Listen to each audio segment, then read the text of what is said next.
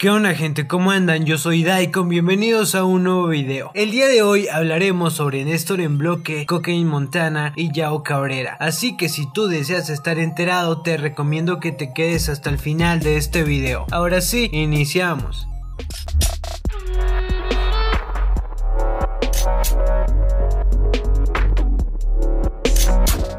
Por si no lo viste, en mi comunidad te dejo el video de Dogma, artista emergente de Funeral City y Mutante Human, una promesa del freestyle mexicano. El link a su tema y a sus redes sociales las podrán encontrar aquí en la descripción.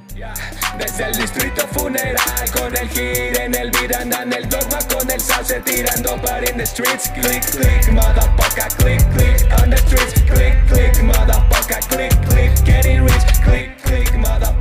Ayer les comuniqué que Néstor se cansó de estar mintiendo y apoyando la novela que se armó, así que se decidió por desmentir el show. Todo lo confesó durante un directo en Instagram. Está un poquitico largo, así que aquí compartiremos los momentos y las declaraciones más importantes de este directo. Primero comienzo mencionando que en los primeros minutos del directo, Néstor respondió lo que había pasado con Duki y después de ello relató cómo es que inició todo. A continuación les dejo el el video. Ahí me preguntan qué pasó con Duki. No pasó nada con Duki. Hubo un malentendido. Yo les voy a contar.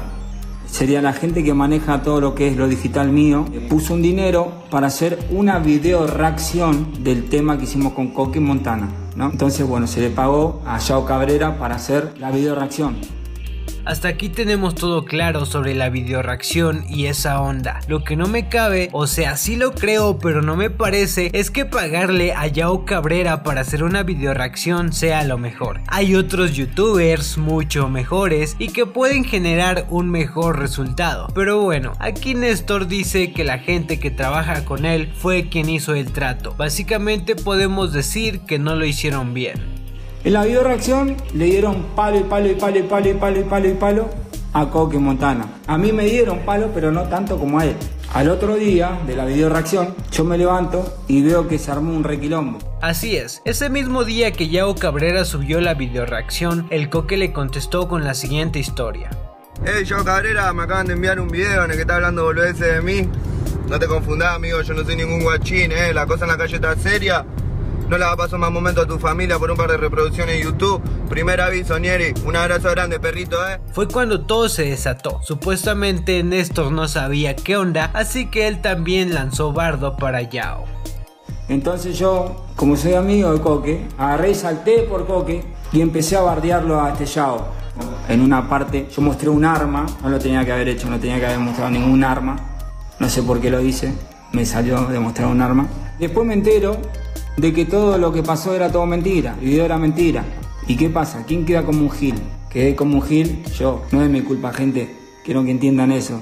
Si ellos me hubiesen dicho, che, guacho, vamos a hacer este bondi así, así, pum, pum, que pan, listo, yo, Zarela, no me meto, hagan la suya, Ahora bien, hasta aquí Néstor está diciendo que él no sabía ni qué onda, que no se enteró en qué momento el Coque trató, o más bien el equipo del Coque trató con Yao Cabrera para armar una falsa pelea. Pero bueno, o sea, se armó toda la pelea, surgieron los videos donde claramente todo está tan mal actuado, y ahí es cuando las personas se dan cuenta de que todo el show fue armado. Ahí es cuando Duki se mete a desmentir todo. No, que no le pegó a nadie, pa, ese video está rearmado, mírenlo 20 veces, el Coque no lo tocó a Yao. Pasa que el que era manager de Yao ahora está trabajando con Coque y armaron todo, todo juntos.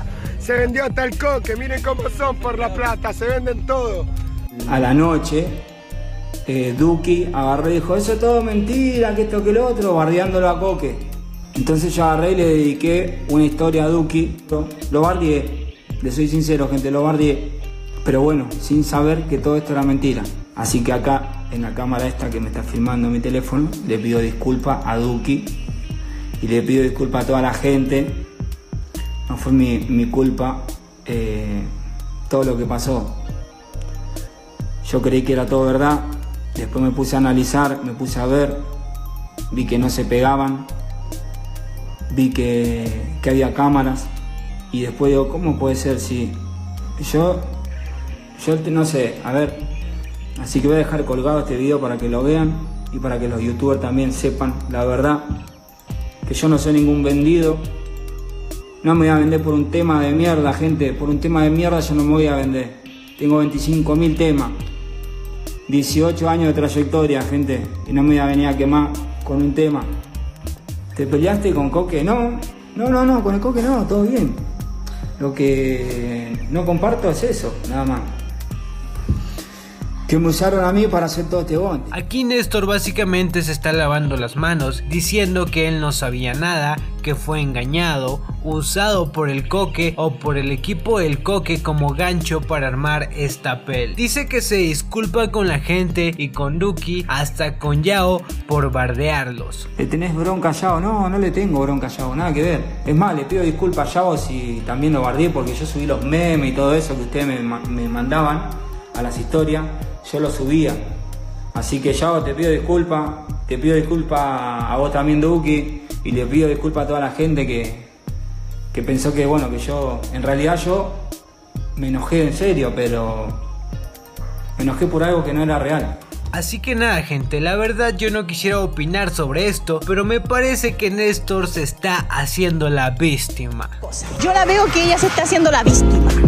Víctima. Víctima. Pero nada, de mi parte esto sería todo, gracias por ver el video y nos vemos en el próximo.